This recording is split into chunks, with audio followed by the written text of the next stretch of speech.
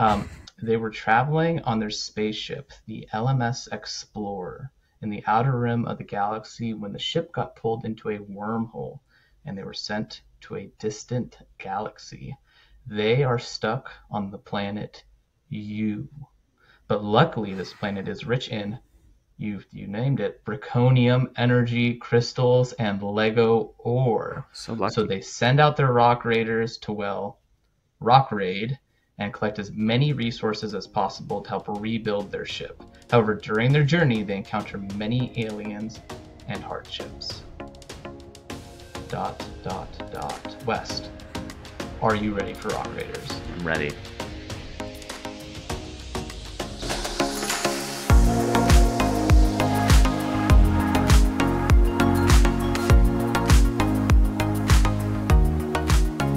Hello, bricks, chicks, and minifigures. You are listening to AFOLs Welcome, where we talk about all things LEGO from the perspective of two adult collectors.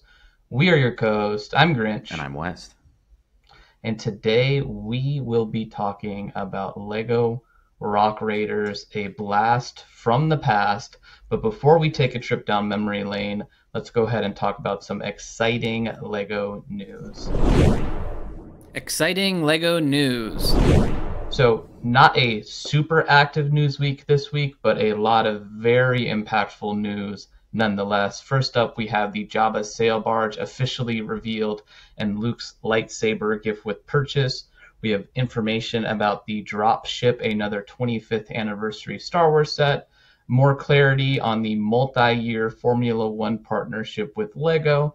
And then uh, lastly, a little bit of drama happened here with uh, Lego and instructions that uh, maybe created a little bit more discourse this week than the uh, the Lego group was intending. So, uh, West, uh, give give it to me here. Which one of these did you want to talk about first?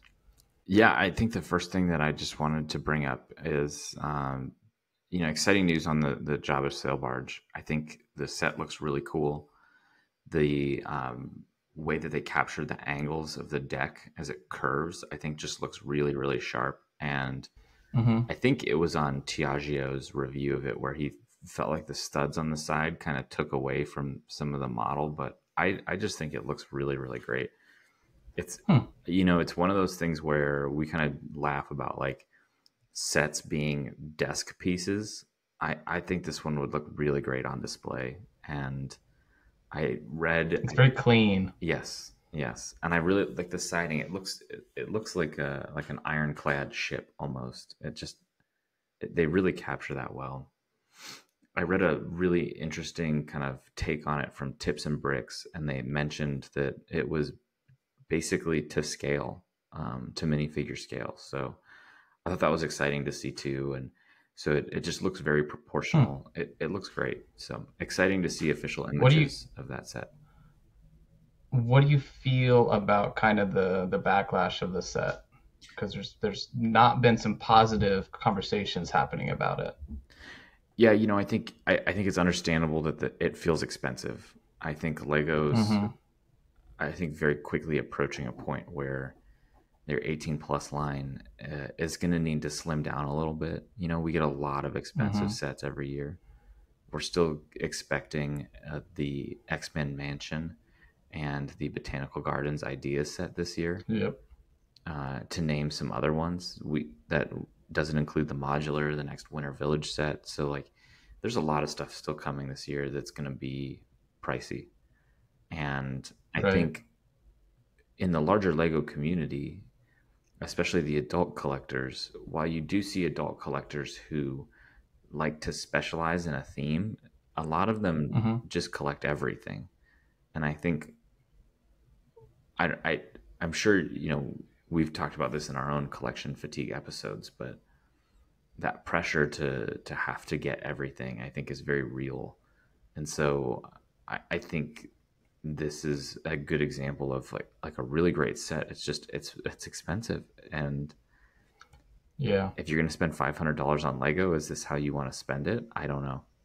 I that Yeah, that's kind of like why I don't collect Star Wars too is just because I feel like you could collect five themes or you could collect Star Wars and I'd prefer the five themes. But I did want to point out too you know, we knew we were getting this, hmm and if I had told you it was going to have a price to a, a price to part ratio of 12 cents per part, would that would have been a pretty easy pill for you to swallow, right? You know, before you saw the set, before you got official piece counts, right, minifigures, you know, if I said, hey, we're going to get a UCS Jabba sales barge for 12 part, you know, 12 cents per part, you'd be like, well, what would you be like?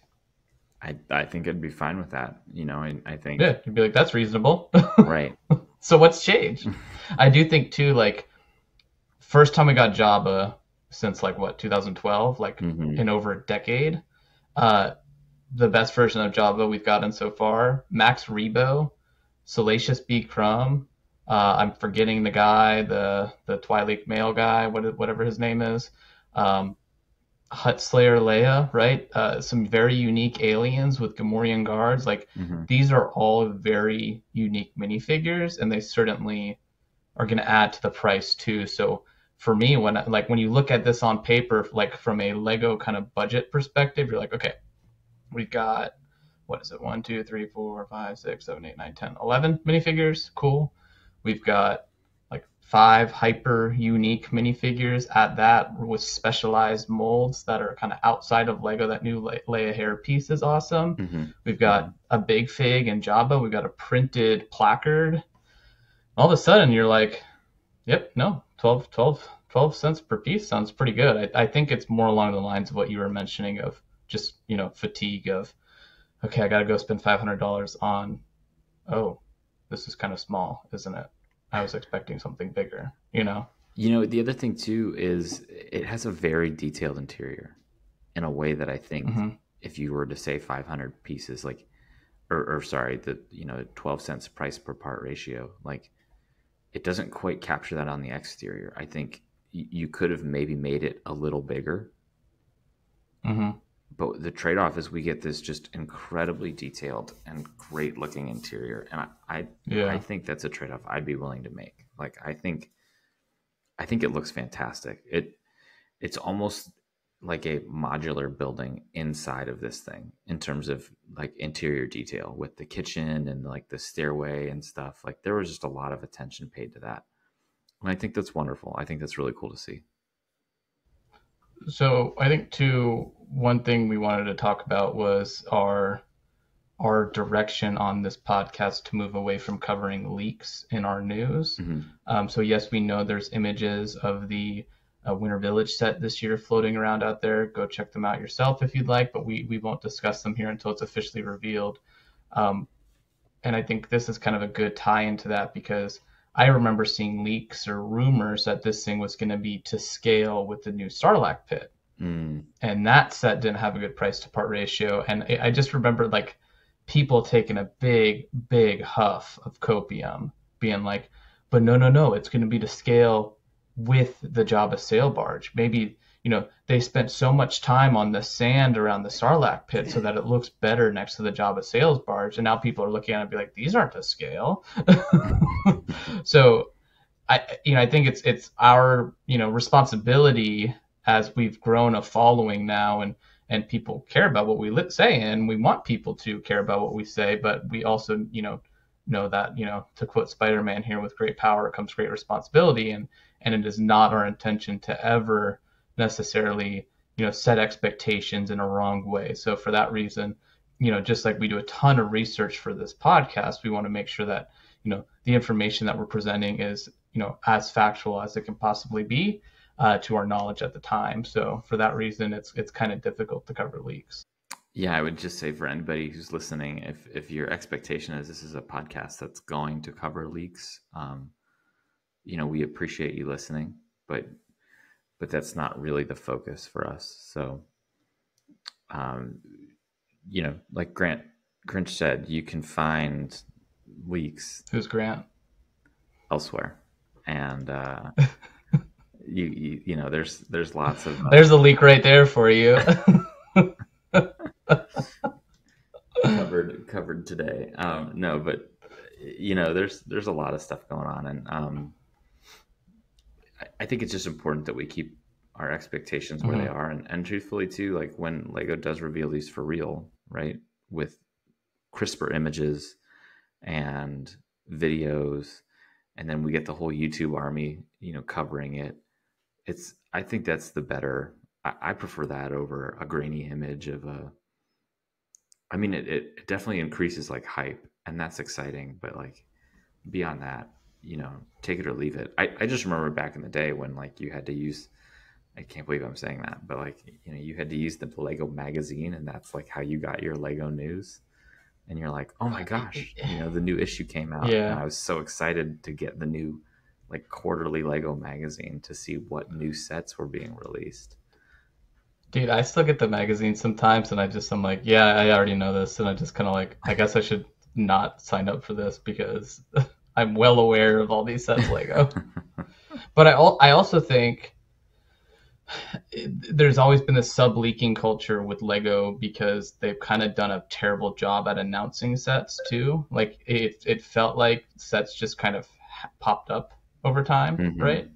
And um, you know, I, when I when I came out of my dark age, I was always like, I got to follow these leak websites, otherwise I don't get an official announcement from Lego because I want to know what's coming out. I don't want to know when it's out, right? You know, I don't want to be like, oh, I got to go buy this right now. I want to be able to prepare for some of this stuff and, and get a little bit excited. So I think it's an easy rabbit hole to fall down and like a very understandable one to fall down because it is, you know, it's exciting. Like we all love Lego. Um, but I think that's enough about Jabba Sail Barge and the leaks. Quickly, Wes, what did you think about the Luke's light spader? The light spader is that like a potato cutter? yeah, I I think it looks fine. I think they're cool. Yeah. I, I think this is a really solid example of where because Mhm. I know they've done Yoda's lightsaber, I believe, and they've done Yeah, and Anakin's, right? I think so. I I think this these just need Oh, sorry. Yeah, Luke's Luke's blue lightsaber, Mhm. Anakin's lightsaber, same thing, same thing. Yeah. they just need to make these into sets. This is just Yeah. like Lego's leaving money on the table here of in the 18 plus line. And this is you know, I think I talked about this last episode of smaller 18 plus sets. Here's a great Mhm. example of like a $40 set that Lego Right. could be releasing for $50. Forty dollar set, Well, you know, I twenty. It's it's hundred and forty pieces. Okay, well there you go. $20. I'm sure people would pay $40 Wow. for them. All I'm hearing is, guys, you heard it here first. Leak alert. Uh, West is the reason we have to pay outlandish prices for some of these Lego sets. Don't give Lego any ideas, huh? yeah. No, I think Somebody's taking notes at the Lego group right now. Oh wow, we could do forty dollars a lightsaber. There's like a hundred lightsabers out there. Just wait till you see Mace Windu's with that drum lacquered gold. That'll be sixty dollars. yeah, right. I I just think that there's a missed opportunity here to to make a little bit more um, money. To be frank, that Yeah. for Lego. I, I wonder if they've done, you know, the nerd in me, the analytical nerd in me is asking if they've kind of looked into that to be like, is it better for us to sell 10% more Jabba's sail barges up front so that we can recruit some of the the R&D funds, or is it better to to kind of sell a smaller Luke's lightsaber? I don't know. Maybe they're sitting on the lightsabers for when Star Wars is even more dry than it currently is. Yeah, that's a good point.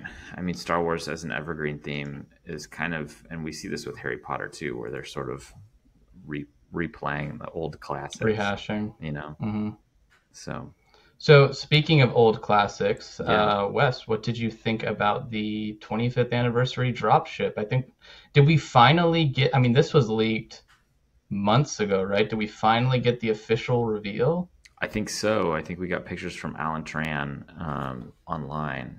Uh, it, it, I think it looks really fun. I these are great sets. You know, we've talked about it already to some extent. I, I think it's really fun to see these non-canonical sets continue, and they're almost canon now, right? Because this is their third iteration of like this very unofficial set.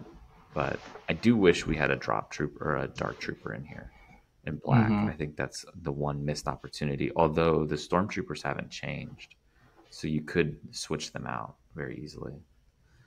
True, So true. I, I really like the, you know, for the 20th anniversary, we got the dropship. But we didn't get the rebels. I think this is, a, but we didn't get the Rebels, and I think the dropship is supposed to be a newer take on it, whereas the other dropship was more of just a modernized version of it. This dropship feels very different, Mhm. which I kind of appreciate.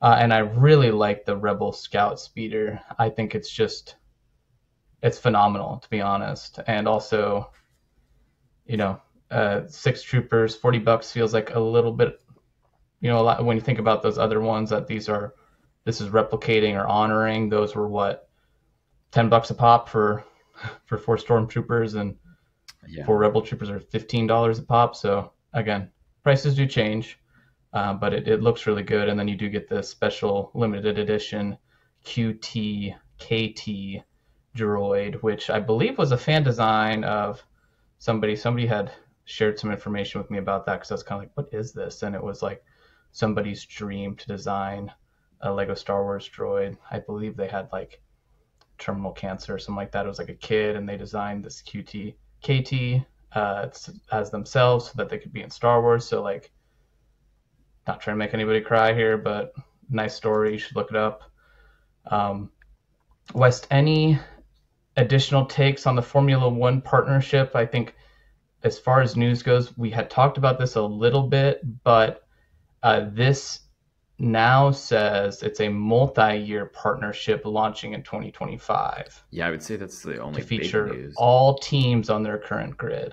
yeah, is that we we know that there's it's multiple years. So this might not be Right. the deluge of Formula One that we expected into the Lego with this crossover, but we we are certainly going to get you know a few things. So, um, you know, I think going back to the comments we made about the leaks too, right? Like we got the that insight on the CMF series. It could look totally Mhm. different than what we're Right. expecting. So I think this that's another good example of like, let's just wait and see. You know, like Yeah. I, I'm curious to see what Formula One brings to the table this year. You know, I, I did I will say I've always been surprised with this this specific crossover because we've seen a lot of Formula One branding with Lego already. So Right.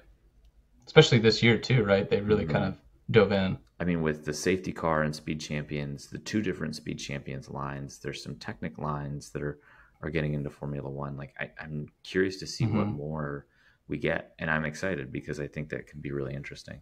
So There's there's two things that I found interesting about the press release. First of all, you know, it says it's going to include the 10, 10 teams, and it says the current teams are McLaren and then Red Bull Racing. So I think it'd be really cool to get some like official Lego Red Bull prints in some form or fashion. You know, maybe pick up a couple of these sticker sheets and you can have custom Red Bull cans in your Lego city.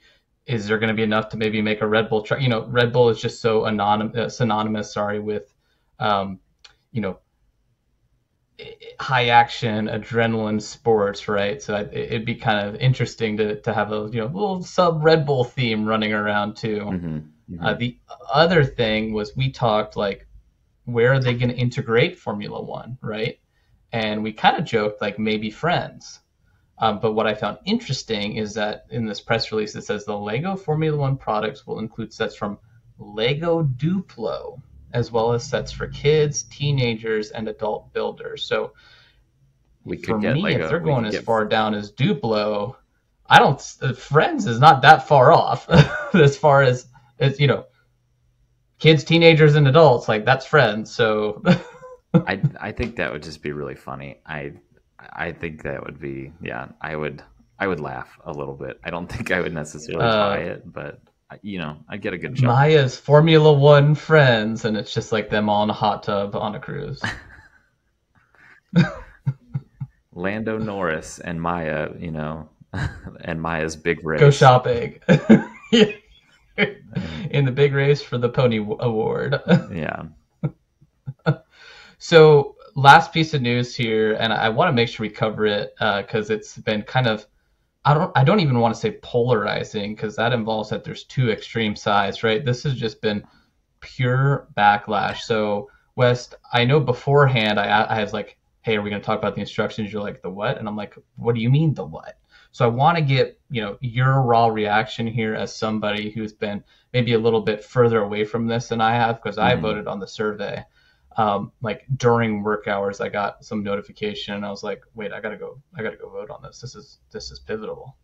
Um, so a couple days ago, Lego put out a survey regarding the future of instructions, and asking people how they wanted, you know, if they were okay with only digital instructions, and like it just blew up.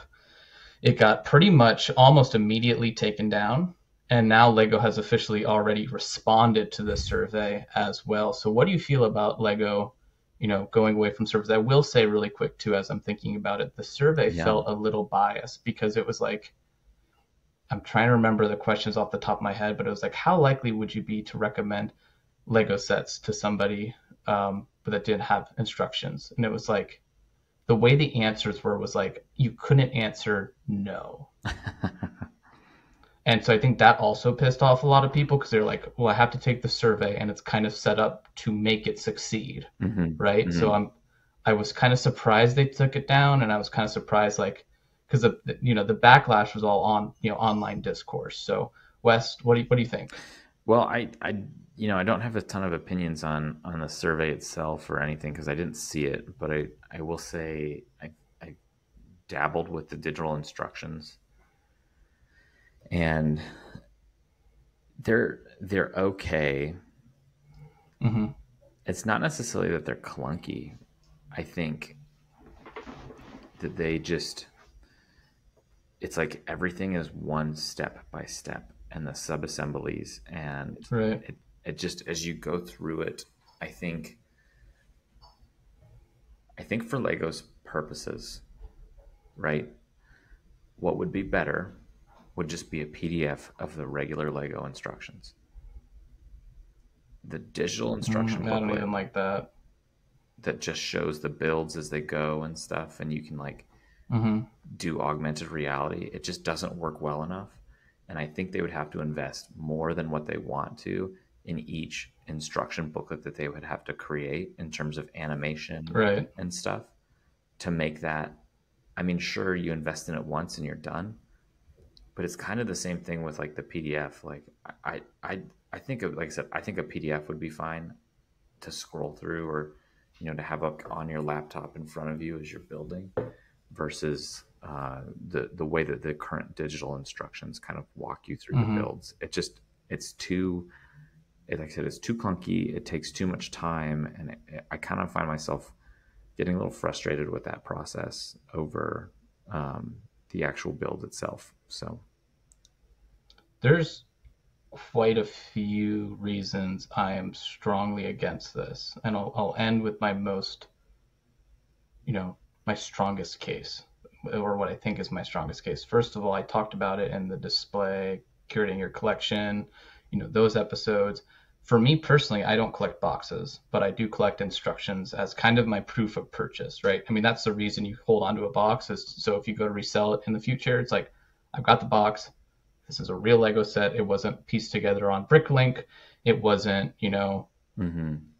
just random pieces that were thrown together with custom. Like, here's my proof. For me, that like instructions are suffice for that reason. When I buy a used set, I only buy it with the instructions. On a very rare occasions, I will not. You know, mm-hmm. perhaps instructions are readily available. So that's one reason. Um, the second reason, and I think, I mean, there's a couple other reasons too, but for me, I work on my computer all day. We do this podcast in our spare time, right? At night, I watch TV with my wife. I play Counter Strike. I play video games. I need something where I can completely unplug from notifications, social media, and devices. And for me, that is building Lego. Mm-hmm. And when I build with my wife, she likes to have something on TV. I don't.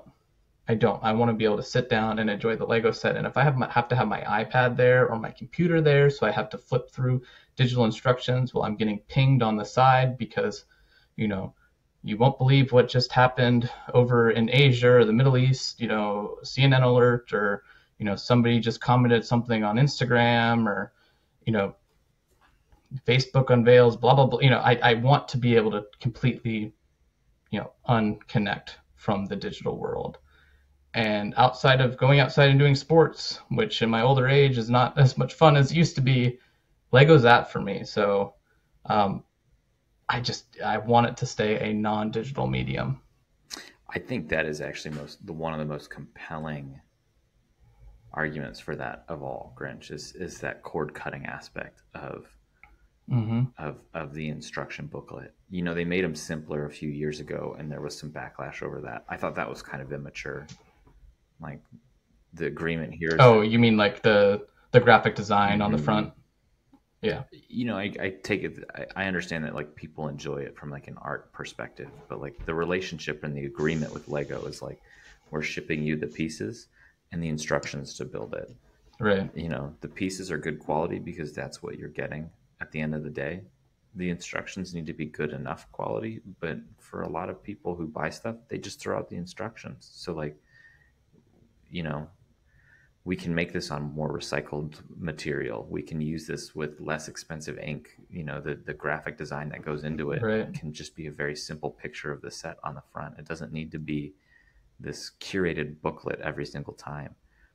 I, they could also make the steps somewhat more complicated. I mean, they're advertising as 18 plus. Yeah. I don't need to start by putting a one by two on top of a one by four and then attaching that one by four to a one by six over three instruction steps. Make that all one. Mm-hmm. Like we can deduce that. And and I think they do that right as you go up in complexity. You know, we always joke. Sometimes I, I feel do. like it's a little inconsistent. Yeah, I, you, are probably fair, and I think they could probably take everything up a level and be okay. I think that's very right. doable. But like I'm building Barad-dûr right now, and like this last bag, there was one step that was like literally attaching one piece, and the next step was attaching like 20.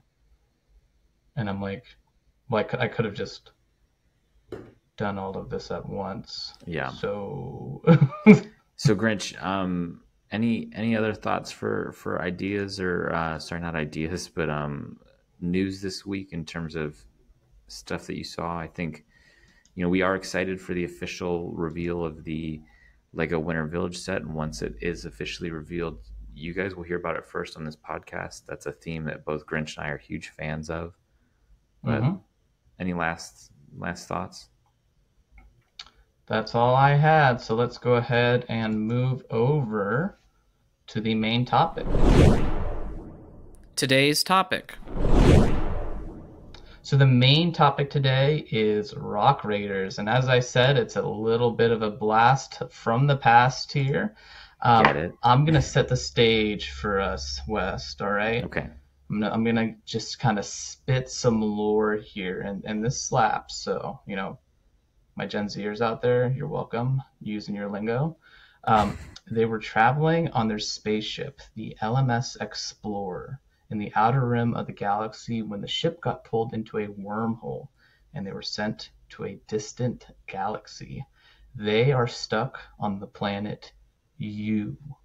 But luckily, this planet is rich in, you you named it, Braconium energy crystals and Lego ore. So lucky. So they send out their rock raiders to, well, rock raid and collect as many resources as possible to help rebuild their ship. However, during their journey, they encounter many aliens and hardships.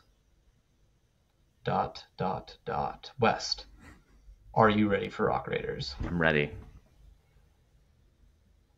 So, what do you think about when you think about this theme? Well, this was a theme that was introduced in the late 90s when you and I were kind of just really getting into Lego. So we, we actually collected a few of these ourselves. Mm-hmm. Um, so there's definitely a large sense of nostalgia when it comes to this theme.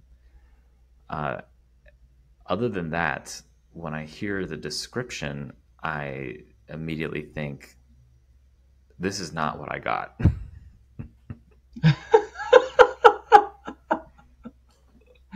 what? What do you mean? Yeah, so famously, Grinch, as you're kind of alluding to, right, and, and I know we're going to get to, is that this theme right, was paired with not only a video game, but like a comic series. Mm-hmm. Three so books. There's this whole back lore about, yeah, you know, what's going on here. And I think, you know, when you look at like what you have in front of you, it's that's not clear at all. yeah, but I think I, I, I think too what's really important about this theme is you know we've kind of talked about it before. You and i have especially offline where it's like some themes need to crawl so others can run right? And when we did a practice episode we talked about throwbots or we talked about that in bionicle. But i feel like this was a like a big turning point for lego and their own ip Yeah. because the the self created Lego themes, the original Lego themes that come after this, kind of follow this template, right? They're story driven. hmm And I think we kind of have already captured an issue with having them be story story driven because like as a six year old playing this, you're not like, I gotta go read this book. You're like, I want to go play Lego and I don't really care. So like does the narrative add that much? But like Ninjago now has a TV show, right? Even Jurassic Park Lego sets, right? Um, obviously, some of them are off of Camp Cretaceous, but like Lego made their own Jurassic Park TV show in 2019, Okay. Legends of Isla Nublar, when they came out with those sets. So like now Lego t- takes this approach with everything, right? Yeah, that's a great point. It's it's definitely where you see the brand and the company really start to develop more context and more backstory um, around these figures. And like you said, it, it definitely in a way of like Rock Raiders crawled, so Ninjago could sprint, right? I mean, hmm they had a movie like a it released in theaters, Right. So I I think one of the if we look at this in a vacuum, the big miss here is that there's so much in the backstory. It's intricate, It's intricate and none of it is communicated if you just look at the sets. right? Right. And I think they came with a little small comic in the instructions, if I recall. Mhm. but yeah, you know, a lot of times it's you know like Lego City did a th- um, a wave a few years ago where they had you know named characters for all the city people, Mhm. and you saw that on the box, but unless you went to that other you know the other source of that information, you didn't really get it from the set, right? And they're trying to So- tie that stuff together. And I, I, Right. that makes sense from a branding perspective. It's just, I don't think it has the cultural cachet that they're expecting or sort of planning it to have. hmm And so when it comes to actually like execution, you're sort of, I mean, again, you know, maybe I'm speaking for myself, but like I'm a rather, you know, contextually intelligent individual. Like I can sit there and look at what's going on and Sometimes, yeah. I'm just kidding. Depends if I'm right or if you're right. be No, like, no, I see, I see. But you know, you're like, okay, cool. Like this figure's name is Poppy, and the you know other figure's name is Murph, and you know, you're like, okay, like clearly they're characters. Or like when it comes to the Rock Raiders, like, you know, I. It's funny because when we started looking into this theme as adults, that's when I learned Mhm. about the backstory. I never knew about that as a kid, but like I understood what I was looking at, and so Right. in some respects, Lego knocked it out of the park in that they they created this really You didn't need it. theme, right? Right. But at the at, on the other side of the coin, they spent all this money on producing this context and backstory for it to be completely lost on me as the final consumer. Right. And so it's just interesting to see.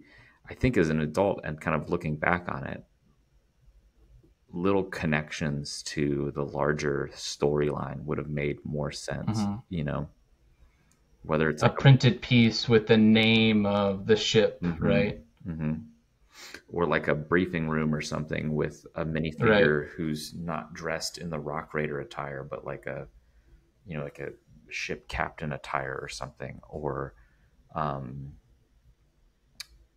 yeah, just like LMS Explorer, like written on the sides of the the equipment, right? Right. Like tying that to the ship would have made more sense. So, For a kid who's excited about, you know, especially me, I was I have ADHD, so a little ADHD kid who's excited about going home and building Lego set, you're not sitting there like looking at the box and reading the first two pages of the instructions. You're just pulling this thing out to build it, right? um, I, I would be remiss if I did not mention the video game because I played it. West, you you did not, right? I don't I don't remember. So, I mean, if I did, Okay. it's Been a while. So, so let me tell you about it. Yeah, it was a base building game. So your whole point was to like land on this terrain, and then you went and you mined, and then you built up your base over time, and then the little rock monsters came and attacked you, hmm and also other monsters. And we'll we'll get into those other monsters, but famously they had like the slugger snake, which I know is like now like, I'm sorry, slugger slug, as I call it a snake, which is now like I mean, it, it, it transcends this Lego theme. I mean, I, like people love Slugger, and they had all sorts of. I mean, we'll talk about all the different monsters they had, but you know, we essentially had what was the first big fig um, as well within this theme. But going back to the video game, yeah, the video game was. I, I, I tried to download it to play it again recently, and I couldn't because the like the emulator was broken. But um, I, I just I just remember there was just an impossible level in it, and it's a very simple Lego game, but all I remember is just like the sound of the chisels as people were rock raiding and digging. So um, it was it was not the best executed video game, but it has a special place in my heart uh, because I did play it and it was different. But I'm sure if I it's probably a blessing that I can't go back and play it because I'd be like I spent I, I spent my time playing this game. So let me let me set up the, the overview here, and then we'll we'll dive into some of the characters. So there's 15 total sets. Uh, eight of them were in the main sets. This was introduced in 1999 and, and discontinued very very shortly thereafter in the year 2000. hmm It did, however, you know, spawn another Lego theme in Power Miners years later. So this is something they've revisited since then, uh, because I do believe it's kind of it's pretty beloved by us '90s kids. So West, you remember the monster, right? The the rock monster. Yep. That was the first big figure. And there's there's a ton of other monsters, right? But those were all in the IP. So there was things, or sorry, in the expanded universe. So there's things like the ice monster, lava monster, slimy slug, spiders, scorpions, but uh, and even a rock whale. And those only were in the books and the video games. hmm So they never actually even made it to Lego sets outside of the rock monster. And that slimy slug I, I mentioned actually ends up making an appearance in Lego Island 2 later on. So something that they kind of recycled and, and reference in the future. Weren't the rock Um, monsters in but- Lego Island as well? Uh, I don't. I feel like they were included in. Well, Lego Island was before Rock Raiders, so it would have been Lego Island 2, and I didn't really play Lego Island 2. Yeah, there was definitely. I felt like they were in like maybe it was the racing video game or something, or um, I think they were featured kind of around that era. So But I, I feel like we were robbed from so much more, right? Because they they spent all this time setting up the lore, and it, it just feels kind of bad that this flopped, right? yeah, I mean, it definitely feels like there was more here, and I I think you know when we look at it, right? They, I think in the uh, stories they talk about like an ice monster and a lava monster and like all these other Mhm.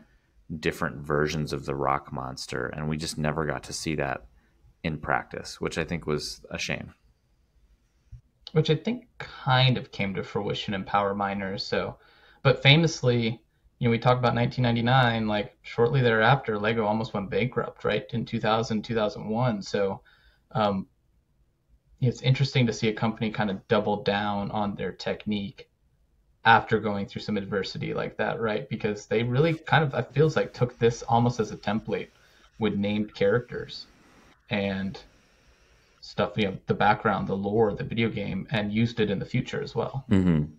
i mean this this series too had a lot of specialized pieces right so there was Mhm. a lot of new It did.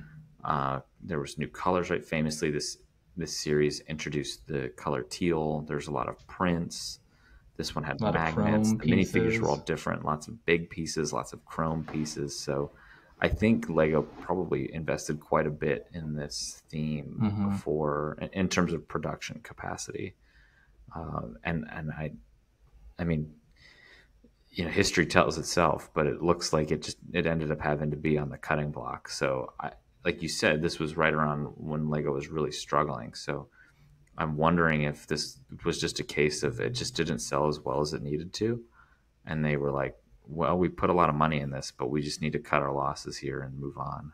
You know what I mean? Right. So, West, you talked about the named characters, right? I think this was one of the first, if not the first, Lego themes that included, you know, original named characters. So we had Axel, Bandit, Chief, Dox with an S, Jet, Sparks, and then of course the Rock Monster. Yeah, and this one's a weird one too because if you got the set 4930, the Rock Raiders crew, you pretty much got every single minifigure. Mm-hmm. But then mm-hmm. every single other one always showed up for six dollars. By the way, you got five minifigures for six dollars, and it was pretty much the whole crew.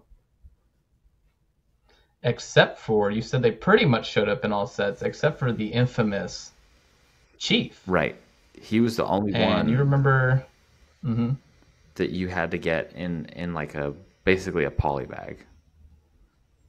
Yeah, they were the they were the kind of pre battle packs or minifigure packs. A lot of them came with three minifigures. They did it for this, Star Wars, Lego Ninja, uh, and I think that was it, right? It was Star Wars, Lego Ninja, and Rock Raiders. I might be missing one more theme there, but they had three of them in total. Retailed for two ninety nine and I believe the three packs retailed for a little bit more than that. I don't have the price in front of me though. So you got what looks like Sparks, Jet, and Dox, and then you got uh, the other three in the next pack, and then in the third pack it was only Chief. And Wes, do you know how much Chief goes for nowadays? If you had bought him in the year 2000, you could have bought him for three dollars. Uh how much, Grinch? Five hundred dollars. That is insane. Which makes him the most expensive new set on this list of all the Rock Raider sets. Even more expensive than the largest set in the series. Eight pieces. And I think there's one minifigure. Eight pieces. One minifigure. Five hundred. and a dream. I know he's not a Comic Con exclusive, but he might as well be, I guess, because I, you know, at the time he was only available, like you could only buy those minifigure packs at Lego retail stores, mm-hmm. which were few and far between where they are now. I mean, now they've got hundreds of Lego retail stores around the world. You know, in any major city, they're going to have one, if not two Lego stores. But back then, it was like, I mean, I, there was a handful of Lego stores. And it also was discontinued very quickly after it was released. So not only was it kind of very retail exclusive, but it also didn't live on the shelf very long. And then it was a sought after minifigure because he had a turquoise arm. And turquoise was introduced here, and it was also discontinued, I think, in like 2005 ish. And so for 18 years, this was the only turquoise arm that you could get on the market. it's it's history like that that I think is just fascinating with Lego of, of how they have these limited runs of stuff that you know for some reason it's it's the only time or place that that was ever introduced and then that's it. And and it you know you look at like why is it so expensive? And the simple answer is just because we haven't made it anymore I just think that's really funny. Uh, I, there's great. And when we did, it flopped and nobody bought it. right, right. But now it's you know this this incredibly sought after or you know expensive thing because it was released in such limited quantities. I think we you know we there's really great examples of this Grinch. You have a few Pirates of the Caribbean pieces. I recall it was like the pen, pen quill feathers that are like extremely mm. rare because that's the only set that they were ever released in that color. And I just, it's so hilarious to see, you know, such a very simple and, you know, uh, you would never think that that piece could get expensive. And then, you know, come to find out it's, it's orders of magnitude more expensive than its counterparts. Yeah. So what you're, what you're referring to is, uh, there's a feather quill piece in t- in tan, Mm-hmm. dark tan, which is which is not a uncommon color. Right. But the dark tan is only available on the minifigure Angela from Pirates of the Caribbean or Radagast the Brown. And average price right now on Bricklink is guess how much for sale? I, I would. I mean, I, I, it's obviously nothing like insane, right? But I would think like ten or fifteen. It depends on your definition of insanity. Okay, then then it is insane. Currently for sale, and s- and average sales in the last six months. I'll start with the average sales of the last six months. It's fifty two dollars. Gosh. New. You know how much used is? Forty. Fifty two dollars. Fifty three dollars actually. Currently for sale on the market, new eighty dollar average, seventy dollar average. That's So if you are ever buying a Radagast the Brown minifigure, and if you're ever buying a Angela minifigure from Pirates of the Caribbean, you have to make sure a hundred percent that it comes with that plume. I would message the seller and say, "This comes with the plume, right?" And if they say no, just know you're gonna have to spend more on that minifigure to go get the plume by itself. yeah, And I think this was before they included it in like a duplicate because nowadays you would have got two of them. mm-hmm, hmm I don't think they did this back then. I'm, I'm not sure because you would think, you know, okay, well, if everybody who got one has two, it wouldn't be the case, but well, it's not. potentially. But even though, even with that, like it's still s- such a limited run. You know that the, Mhm. the numbers would be so small. Um, I I know we're, you know, obviously way off onto a tangent. I'm gonna bring it to a close here real quick. How much does that minifigure cost? And does the cost of the plume inflate the cost of the minifigure? Yes, and which is why sometimes you'll find well, Radagast is kind of its own unique. We're going to go a little further down this rabbit hole since you asked. Radagast is its own unique kind of um, cesspool of issues with minifigure productions from 2013. First of all, we talked about the plume, right? So mm-hmm. a Radagast minifigure who is a beloved character from the book, but not really cared about too much from the movie. You would not expect him to be like one of the most expensive Hobbit minifigures. Currently for sale, he's $125, Okay. and used, he's 115. So like very close, and that just tells you he's sought after. One of the reasons the plume, right? So if you ever find one that's for sale for like $40, he probably doesn't have the plume. Like I can, I will buy it for you if he has the plume. Just kidding. That's not a promise, but that's how confident I am. The other issue with Radagast is he is a brown colored minifigure torso. There's and brown from, you know, 2008 to 2015 is incredibly brittle. yeah. So I actually have bought multiple torsos for him because I found some for a good price. And unfortunately, if you sometimes when you move his arms, they just break off.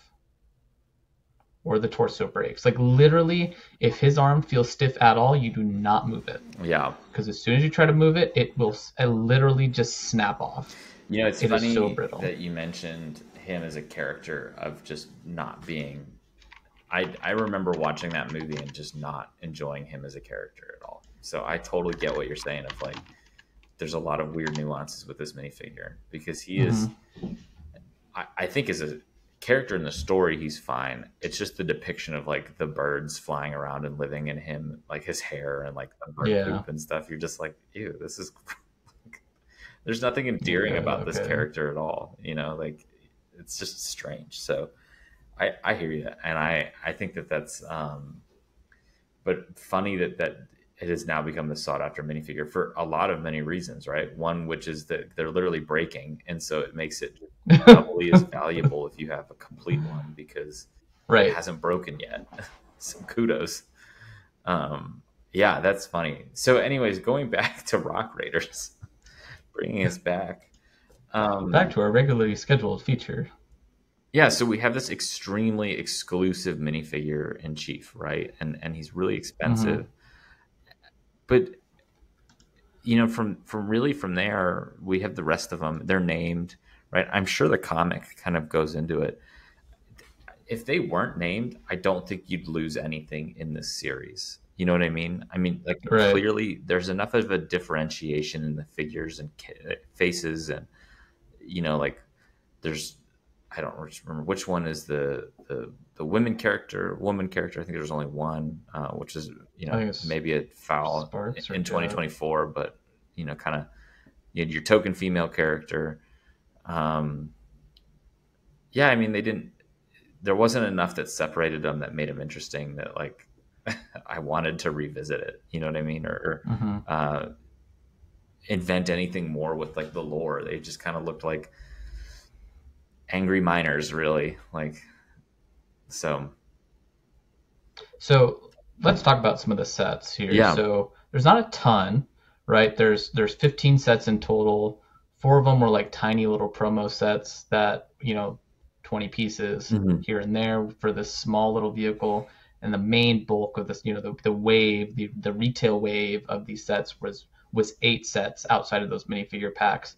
And it just it it looking at the sets, it just takes me back. I'm gonna name some retail prices here. Three dollars, four dollars, six dollars, fifteen dollars, twenty dollars twice, thirty dollars, fifty dollars, and eighty dollars. The most That was the wave. expensive set in the wave was eighty dollars. Um, I'm doing mental math right now. I've got two hundred and thirteen dollars for the entire wave of eight sets. Yeah.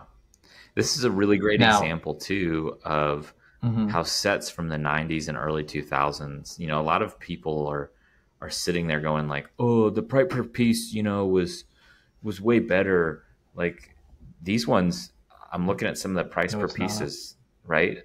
22 cents, 13 cents, 18 cents, 14 Mhm. cents.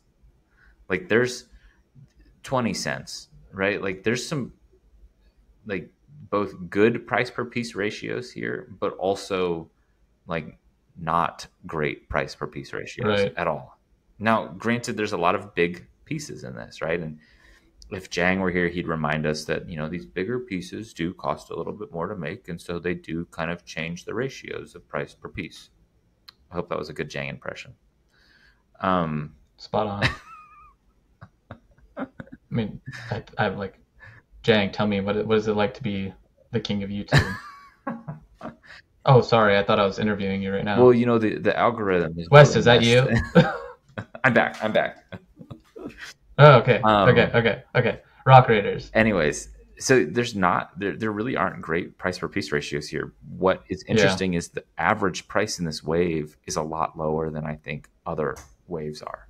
So there to your point there are less expensive sets floating around in this wave than in other waves. So Mhm. you know they're smaller builds. They're you know $20 builds $30 builds. The most expensive being $80 right? There's an $80 set and a $50 set.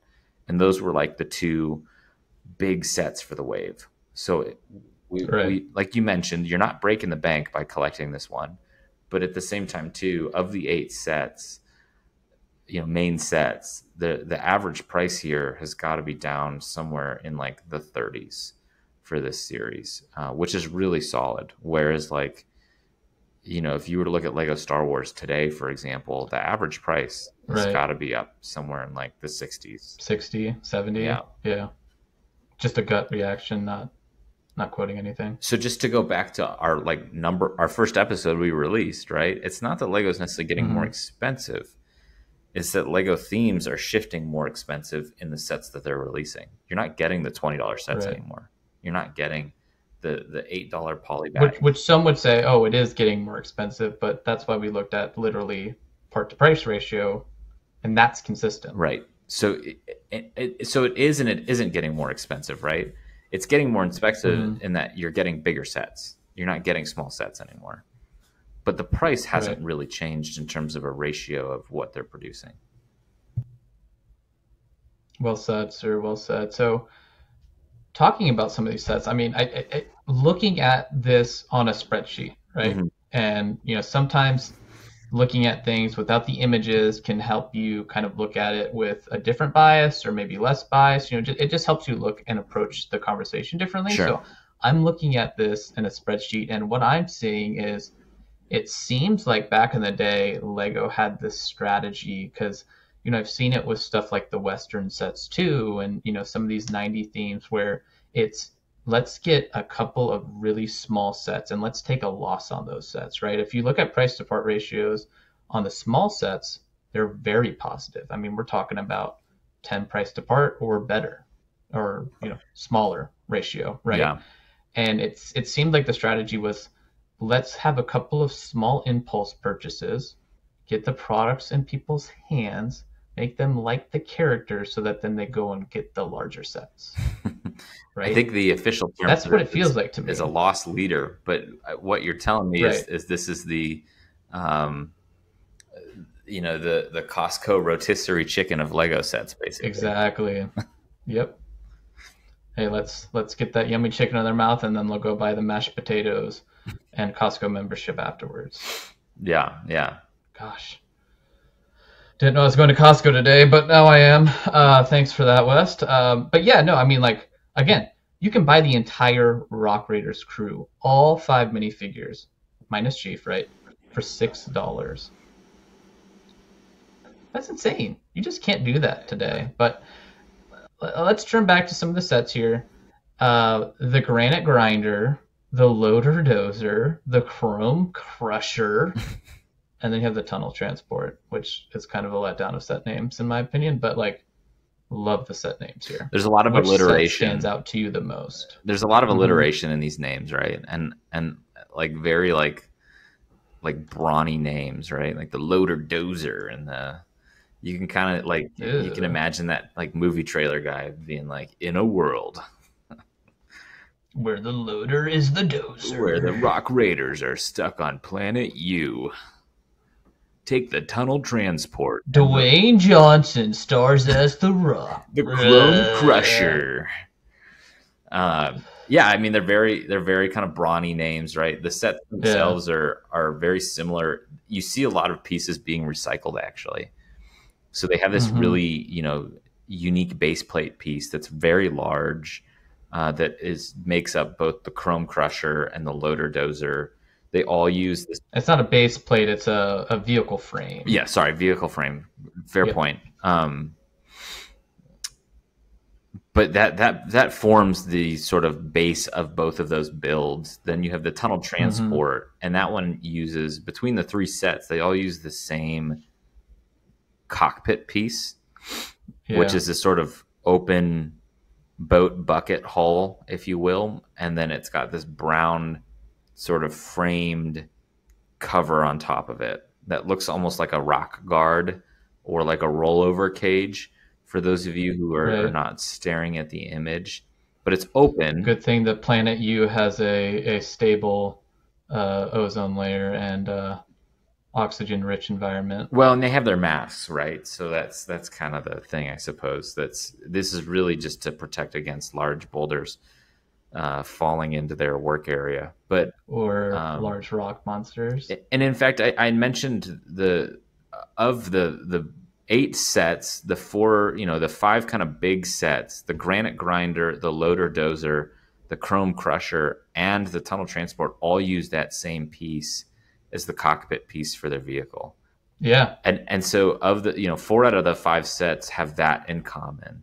A bunch of them have the big chrome drill piece um, they're so they're all great like looking sets on their own too but they're almost so similar. Like you see a lot of through line in the building the theme the continuity there. So that makes sense. Yeah. but it almost i feel like is too too too similar. You know what i mean? I yes and no. I think they d- they did a good enough job yeah. making them feel different enough though so they like what you know if you if this wasn't rock raiders and this was star wars you'd be like ah yes this is the rock faction from tatooine or you know whatever right like but like the one is like a chicken walker right where it's got like little chicken legs that Yeah. shuffle the other one is more of your traditional uh, front loader, right? Construction equipment, and then the next one, the Chrome Crusher, is like this freaking cr- crystal crushing battle machine with this giant light up laser on the top of it. So, yeah, they feel similar, and there's definitely some similarities between the two, but you know, it, they all like I think they did a really good job making it feel like you know in universe these were all designed by you know the same company, right? And they're just mm-hmm. this one's more of an all-terrain kind of exploratory transport. Here's the big one that you bring in when you you know when you're ready to do some crushing, and here's how you get all the crap out, right? Right. No, that like, that like, totally makes sense, and I think this is the John Deere or the Cat, right, or the Tonka. You know, like it's it's right. It's the the trademarked yellow, right? Is this trademarked brown cage. No, there's so there's a lot of continuity there, and that's that's kind of fun to see. You know, a lot of them, a lot of these sets include this laser, like pointer, basically. I think only words. one, right? What's that? Or is it two? Oh, two sets do it. Yeah, the HQ and the the Chrome Crusher, mm-hmm. right? They have a a really great piece in dark blue or dark gray, because um, this is all actually prior to dark bluish gray and and light bluish mm-hmm. gray um, or Earth Gray, as I believe Lego calls it. Um, but they have gray, uh, I call it this bucket piece, which is really kind of cool. And I, I, believe a lot of these pieces actually got reused in construction lines later. So there was definitely a lot of uh, utility in, in mm-hmm. what they were producing. Um, but things like the cage piece, oh man, now I got to look this up while we're talking to see if that was ever reused elsewhere. I kind of feel like it was, but uh, I can look it up. Will you? Will you yap? um, you know, it's just really interesting. What I will say that I think Rock Raiders did really well was the play features. Right? I mean, if you look mm-hmm. at the mm-hmm. Rock Raiders HQ set, it really was designed to be played with um, in, in, that there's a lot of really fun features of like rocks dropping down. This there's like a kind of a, a gantry crane kind of setup um, that's that has like a bucket on top of it. There's a, a lift crane. It, it, in one hand, you know, and all this is built on this very unique base plate that's raised up. It reminds me a little bit of uh, the last uh, pirate set that we just got. That was the remake. Um, Branch Quick. What was that called? Oh, Barracuda Bay. Not Barracuda Bay, but the newest one. Oh, Eldorado. Yes, Eldorado Fortress. That's an Imperial set, bro. Well, in the Pirates universe, but fair. Um, but it's got it's got a very similar kind of look to it, right? Because you do have this raised up base plate. There's this crane piece. Uh, and then there's just these really interesting play features. I mean, again, they're not one to ones at all. So like, please don't look at it and be like, it looks nothing like the Eldorado Fortress. Uh, the the point I'm getting at is the, it, it, feels similar to in design, right? There's some similar play features and similar sort of intent here, right? And so you have like a, a laser to cut into the rocks. You have this this crane to lift the rocks around. This this other sort of gantry dump system that's dumping rocks into like a little cart that's going to move them, and and then the rock monsters actually attacking them as they're kind of getting set up and, and trying to exploit some of these crystals. So uh, I, I think there's it's definitely designed to be played with and interacted with more so than to like look good. You know what I mean? Yeah, and uh, to answer answer your question here, uh, the that cage piece was never reused. Okay. The cockpit piece was never reused and the vehicle frame was reused once. Interesting. Only one time in a whole different color. Obviously, it went from dark gray to dark bluish gray yeah. in a construction set in 2005, but it was never used again. Huh. And also, the laser pointer thing was obviously unique to Rock Raiders as well. Yeah. I mean, while we're on the, the subject, chrome, what about that chrome piece was also only used in Rock Raiders? What about that large fender piece that kind of goes up and over the wheels in the Chrome Crusher? Oh, the is it the the angled piece? You know, I a lot of this a lot of these sets use that like ten by two with the double slided angles that we're talking about, or or oh no no no no no, you're talking about It's like the um, wheel arch so piece the- with the printed. Um, yeah caution. yeah. On the tunnel transport, Which set was that in? so it's on the in the In the chrome, Chrome crusher, Crusher. but it also in, in the tunnel transport, it's used almost as like a spoiler, which I thought is actually kind of a cool use for it. It looks like a rear kind of wing, a little bit. Only only in these sets. Yeah. So there was just a lot of pieces then that were unique to Rock Raiders that were never really Right. reused beyond the theme. So, Even even that sloped gray piece I was talking about. mhm. Uh, well, just kidding. That was used in a lot of sets. I was using like 50 sets. It's still used today, actually. that Now that I think about it, yeah, that makes that sense. That foot piece. The double slope, yeah, the double slope piece that's got the slope on one side and the slope on the other, and is uh, 10 long. Yeah, Oh, I'm not I'm not tracking that piece. Um, it's uh, Oh, it's like yes, two yes, bricks yes. tall. It's got a slope on each side, and it's 10 bricks, uh, 10, 10 studs long. yeah. that's been used in a ton of sets actually. No, that makes sense. That that one, yeah, yeah. So like, but but like you mentioned, right? Like a lot of very unique pieces that have not been reused. This this had to cost Lego a little bit of money to make and and design, and then to kind of never use these again is just kind of a a shame, but also interesting. So I think we're kind of wrapping up our conversation here. Uh, obviously, you know, I think we, we talked about all the sets, uh, and I wanted to just spend a little bit of time on the Rock Raiders HQ.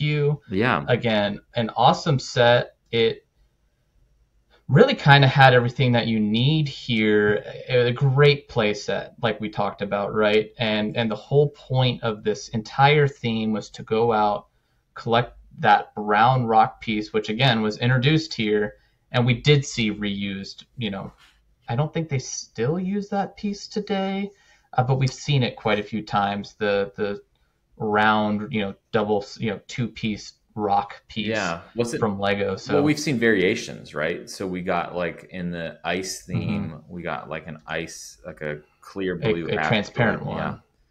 And then they've done even in the more recent, like Mission to Mars series or Life Space ones. I don't know if this last Space Wave included it, but I think a couple of them ago included it with print. Yeah, it's actually it's still in production today. Yeah. So they're still using Yeah. that piece, which was, I mean, the first time that boulder piece was kind of introduced. With 1999, yeah, with uh, Yeah. with this theme. I think they used it in like space as well, Mm-hmm, mm-hmm. but I think that was still maybe a year after this. So, you know, there's been some things that have transcended this theme. Yeah. So, you know, it's it's interesting for like a, a theme that doesn't seem like much more than to be perfectly blunt nostalgia bait. there, there's there's a lot here that kind of lived on with you know just even how you know Lego's own system of creating themes, right? But know the the the Rock Raider HQ was the perfect large set in my mind. The whole point of this theme was to go use those other vehicles we talked about to go out collect these rocks, and then there's just a ton, ton of play features here. You load it in. You pull it apart, you get the crystal out of it, you dump it off, and oh my gosh, the rock monster's attacking, trying to get the crystal. So it was just it was just a really fun series. I, I I think it was well designed, and it's almost a shame that it, it didn't do better, uh, in my opinion. Yeah, I'm looking at. I'm, I'm trying to find it because you know we're using the Brickset catalog to, to kind of look at these while we're talking. I'm trying to get another image to see if uh, if it's turned, if there are any better like play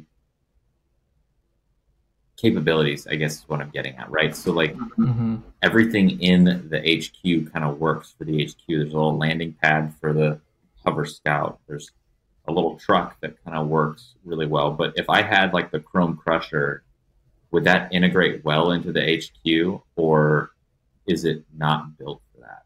And and I ask that question because if it is built for that, I think that's just speaks maybe more to kind of the point that we sort of drove home, which is that this set was really designed to be integrated into the Right, larger, right. you know, you were supposed to buy like multiples of these and kind of build them up in that capacity. Um, and I'm not really seeing a good example of that, but um, of it kind of being used. I believe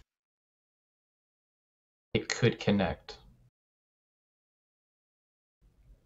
because there was the crane where you could interact with the other sets, and yeah, I think that's something that doesn't get a lot of mention when we talk about these Lego themes. Is like how well does the theme kind of connect with other sets within the theme, right? You know, I'm not I'm not talking about like Ben Kenobi's hut from Lego Star Wars with the clips on the side that has to connect to another set. I'm saying, you know, if I have two sets of the same theme in the same year, like are they automatically sort of cross compatible in that like I'm playing with them together? Or are they so unique and separated that there's really no cross play functionality between the two of them? All right, Wes. So I think we we've talked about the lore, the characters, kind of what's made this unique, how it's you know transcended time and transcended Lego as its own theme, right? And and how one could understand, you know, being a kid from the '90s, there's there's a lot of love here. So as a kid from the '90s yourself, I gotta know what is your favorite set? So I think I would say my favorite set uh, of the theme is probably the Tunnel Transporter. I, I actually never got that one. Um, Hmm. and and it's not like I'm sitting here going like you know spending every waking minute like man I wish I got that set. But what I what I mean by that It's, is it's okay if you are. It's a safe place. some Christmas ideas, Grinch. No, uh, teasing. Oh, let me write that down. Um, oh, no, what I what I think are, are you though? is is fun is uh I like just sort of I, I thought that one looked really unique, right? It has sort of this like osprey kind of look to it a little bit with its Mhm. rotors on the sides, and I, I think that just looks really fun. As a theme, you know, well, I guess we'll, we'll ask that question later. But Grinch, what what is your favorite set from the wave? I uh, I really like the Chrome Crusher. It it came with that unique laser. There's a ton of playability here, right? It had that little like um, bed on the back that you could pull out and put the rocks in. And for me, i- this is really a theme where they all just play so well together. But Yeah. I think what it's coming down to is we did not have the HQ. I believe we had the Loader Dozer, Granite Grinder, and Chrome Crusher. And for that reason, I think of those three, the Chrome Crusher was my favorite. Mhm. But to your point, you know, the Tunnel Transport's really cool. Ironically, it has like the worst name. I think the Rock Raiders HQ is also really cool. If I had to pick one, it would probably be that. But like when I think about this theme, for me, like the first thing that pops into my mind is the Chrome Crusher. Yeah. I I think you know this is one of those series where I guess so Grinch. What what do you think is like a hit from this series?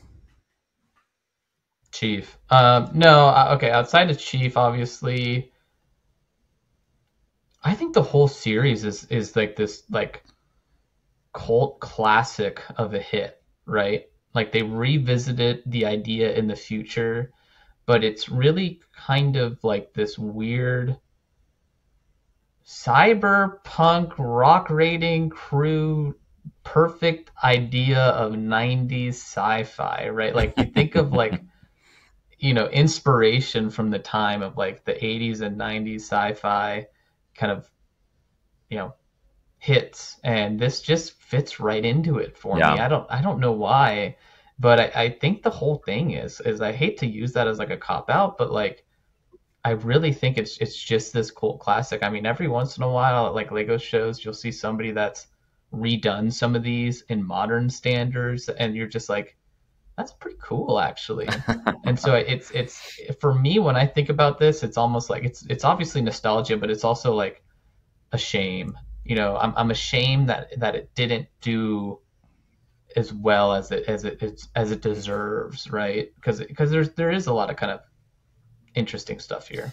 Yeah, I I think you know this era of Lego you saw Lego exploring with this idea, and I don't know what was going on in Denmark at the time culturally, but whether it's power like Throwbots and Bionicle eventually to to some of these features, right? You had this kind of this theory of like exploring these new worlds and a lot of connection between Lego and the natural world and exploring that. And so you got this this mining series and you can kind of see it drawing inspiration from like modern mining a little bit, you know, the cages around the workers, the some of the tools, but then also just this really fantastical element um, combined. I would agree. I think this this on its own is kind of a huge hit for Lego. It is it is a shame that it didn't do as well as it did because seeing future waves of this would be really really fun. You know, going back to what you were saying with like the whole Earth and kind of natural tie-in, like we were robbed of of a lava version of these, of an ice version of yeah, these, like a crystal right? version. A, yeah, yeah. I mean, there was there was a lot more I think that they had cooked up in the books than they were able to serve at the dinner table for this one, and uh, you know, I think that's ultimately why they went ahead and revisited power miners in the future, right? Yeah, but I, I I was looking at power miners and I think power miners in its own way was a little bit of a miss too because of just what you know you, everything went to like this olive green color this this kind of hmm booger green and there's these mechs and they've got these like bladed arms and stuff and like Booger green. it, Yes. i'm sure somebody's out there like i loved power miners like yeah okay cool Well, I- somebody who's 10 years younger than us probably feels the same way we do about rock raiders as power miners, right? That's probably fair, and and I you know certainly not here to yuck anybody's yum. Um, I I think that it's it's just one of those things to that, like you said, just missed opportunities. That I'd be excited to see. You know, I think one of our our listeners in in Brickmail a few weeks ago said, "Hey, I'd love for them to revisit this series." I, I think they were talking about Dino Attack. I think that was Taco. And That was that was our boy Taco, yeah. I think seeing Lego revisit older sets like the Galaxy Mhm. Explorer, like the Castle, like um, the uh, Typhoon. the Typhoon, yeah, Eldorado. Or, sorry, uh, well, the Fortress. that- we talked about revisiting the Typhoon. You're Yeah. talking about Eldorado Fortress, though, yeah. this would be a really interesting Or the or the Blacktron Cruiser. Right. I think this would make a great gift with purchase. right, yeah. You know what? As much as I don't like gift with purchases as a concept, this would be a perfect one-off gift with purchase. A, like a twenty dollar revisit of the Rock Raiders series with in modern Lego building format. Like, what could you do? I would be really Right. excited to see that.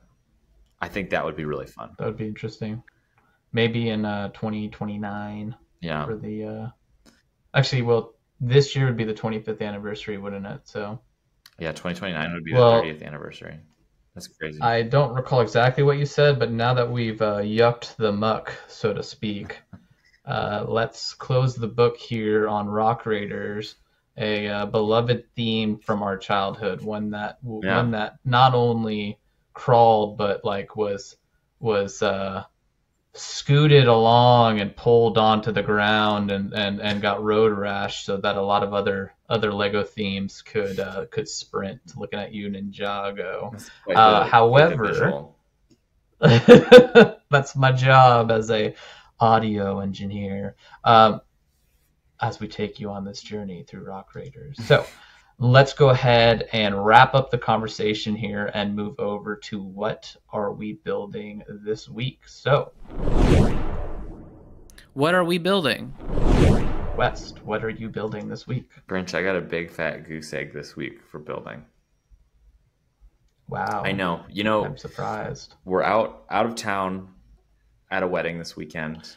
Um, West is West is actually currently missing the vows, so he could be here to record. the ceremony so- is going on. if you want But I'm to if you want to hit he was the ring bearer and he's supposed to be bringing the ring right now so uh you know, does anybody object? I don't object, but I need about two hours to talk about rock racers. Yep. So yep. if you guys don't Time mind, out. Let's take a knee, um, so I can go. And, string quartet, phenomenal job. I think that's a good practice run. Let's do the real thing for the real ceremony here, huh? no. Uh, so we've been busy this week um, with stuff going on at home, uh, stuff going on. Just you know, So what you're saying is, is you have a life? no. Uh, never. Oh, oh, okay, good. Thanks for clarifying. Lego is.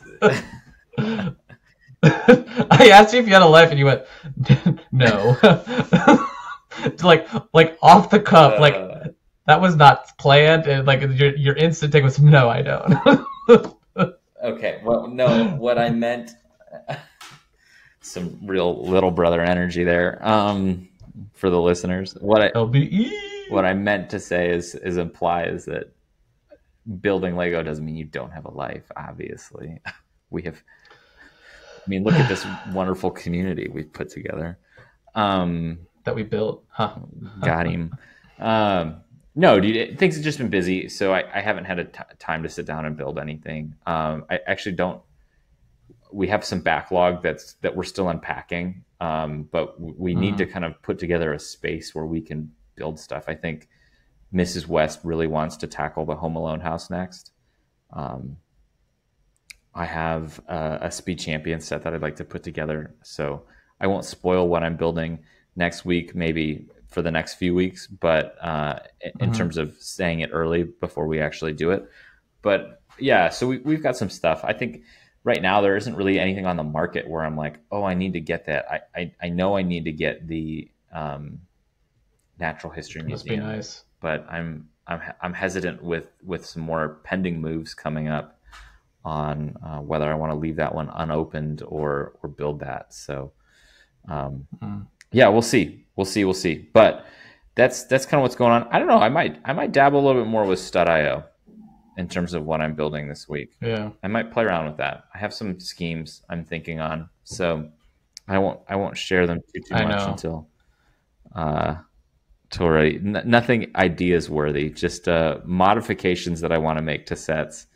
Oh. I know, Grinch, you're rolling your eyes, Oh. um, but you know, without having my my build table and my extra pieces and everything kind of in front of me, Stud.io is the next best uh, best building environment. So. so since I have to bring the LBE little brother energy, um, West, imagine it's the 1500s Okay. and you're in Italia, Italy, Okay. and this man named Leonardo, Uh-huh. last name Da Vinci, Uh-huh. rolls into your crib and he's like, "Yeah, West with the with a th- with a dollar sign as an S. Why do you do that, man?" You're like, "I'm American. You'll get it one day." And he's like, "I just painted this painting of this of this woman. I want you to know what you think." And you're like, "Okay, let's go check it out." And he's like, "I call her the Mona Lisa." And you're like, "You know, I would buy it, but um, the smile is all wrong." She really and then you go and modify it to like yeah, yeah you know you go you know, have you seen the movie smile because this could be way creepier and you're like bam, that's what your modifying of lego sets is doing So I think you know, first you're giving Lego a lot of credit because you're assuming that the final built product that they have is equivalent uh, to the Mona Lisa. But um excuse me they've literally made the mona lisa so they're literally transcending art to use that word another time eric start the counter fair. Um, I, I yeah, I, I don't have much much more to say on that. I you're, you're at a, you're at a, you're at a loss for words. Well, okay. So my specific thought can't keep up with the little brother energy? Yeah i'm gonna i'm gonna i'm gonna defend my my thought real quick and then i'll get to what you're building this week. Um my thought process right is like the natural history museum for lego is really fun but it would be really cool to make some more curated exhibits that you could like swap in. So like the dinosaur build is great right but like maybe i want to have like lean in on the space stuff, right? So we do have a little bit of a space exhibit, but wouldn't it be It fun be to a have? natural history museum. It'd be a space museum. God. Oh, okay, fine. Maybe I'm going to turn my natural history museum into a Lego Air and Space Museum. Like, Why don't Why don't you just make it Air and Space Museum? well, there you go. I, I mean, you could do that. I I think there's just some fun stuff for you know waste modifications. I've been, um, I had a theme or a scheme of that when they created the Lego Amelia Earhart gift with purchase. Of like, oh, this Mhm. would be really cool to feature in like a museum, but it's such a big setup itself It's too to build a building yeah. around that would be crazy, right? But you could still get the minifigure, which actually is not a very complicated minifigure, and then build a very small replica of her red plane, Sure. and that could be a stand-in, you know, design or, or uh, exhibit in the museum, for example. I just think it'd be fun to find. Just out of curiosity, yeah, you have that Amelia Earhart tribute set, I right? do. Yeah, Okay. yeah. I did build it though, so I don't have it in the box. I, I did did put it together. I have the Jane Goodall one that I saved. I did not build that one, so. Oh, I like that one. Yeah, that one was fun. That one always breaks when I move. It breaks a lot. Yeah. No. Anyways, eh, they're fun sets. I I think it would just be fun to kind of find more ways to to build that out a little bit more, explore Mhm. some of those those features, and you know, yeah, I maybe it's just something where like every once in a while you just change the exhibits in the museum or something like that. Like nothing Yeah. nothing drastically changed. The one thing I will say, sorry, now that we're on the topic, you've got me going, Grinch, uh, and then we'll get to what you're building. I really like Gabbrin. the removable wall piece on the museum where you lift it up and then you have access to like the bathroom in the back. I'm trying to remember. I actually need to build mine. Um, so th- on the 1st I'm trying to floor, remember, like like like like on uh, the Sanctum Sanctorum, where you can like pull that part of the wall. yeah, right. And and why I think that's really nice is if you go to like other Lego modulars from back in the day, they leave like open space. So a good example of this is the police headquarters.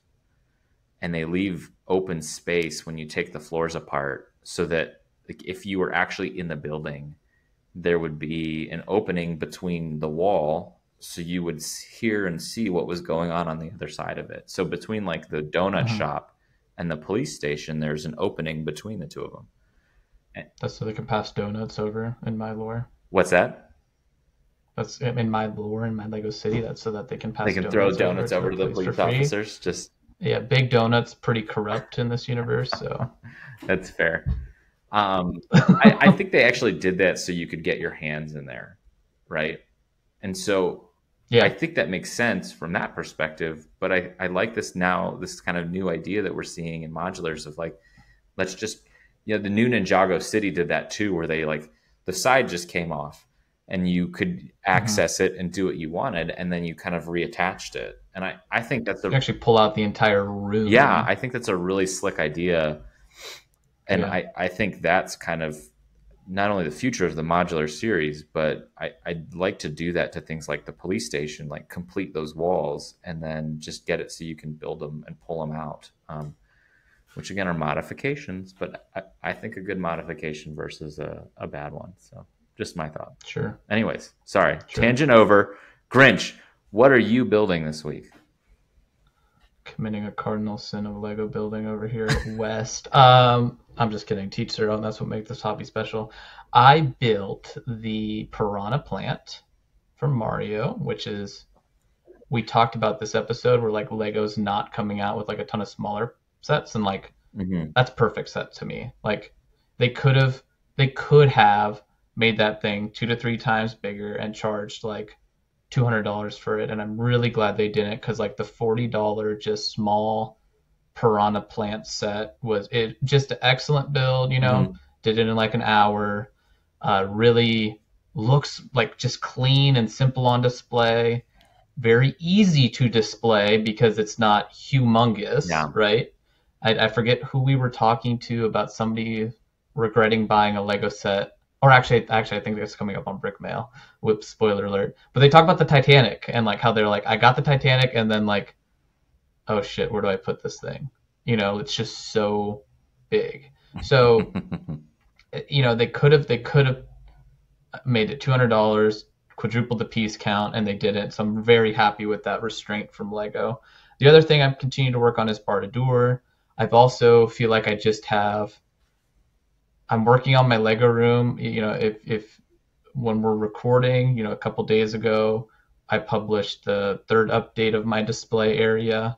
So uh, last night I actually took all that Lego that was sitting around on top of stuff and I got it for the most part in its final home and set up. So making a ton of progress there. Um, I do feel like I have a little bit of just like task paralysis almost with my Lego room because there's and and it's not that I'm not doing anything with it. It's just like like I worked for like three or four hours on it last night after after I was done with work, and I'm just like, did I do anything? Yeah.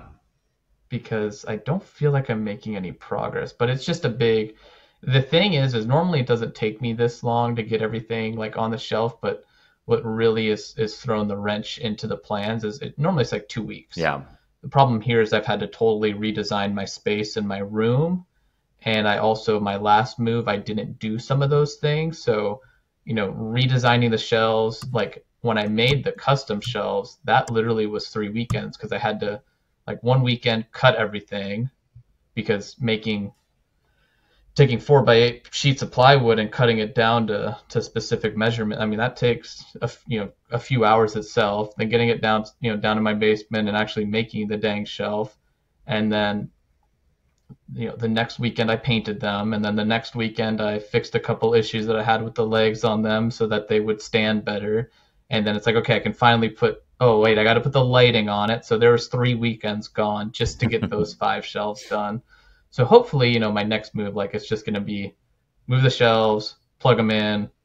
You know, that'll take a weekend, and then the next two weekends get the Lego out, get it on display, and it'll go a lot quicker. So, Yeah. uh, but you know, in this case, it's like I, you know, like you said, we both don't have lives, or I should rather, I should say, we both do have lives. So when you dedicate three weekends a row into just 100% Lego and have a family, you know, that that feels difficult.